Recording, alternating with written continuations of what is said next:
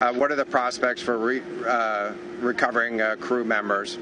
And so uh, this is a incredibly unforgiving uh, environment down there uh, on the seafloor, and the debris is consistent with a catastrophic implosion of the vessel.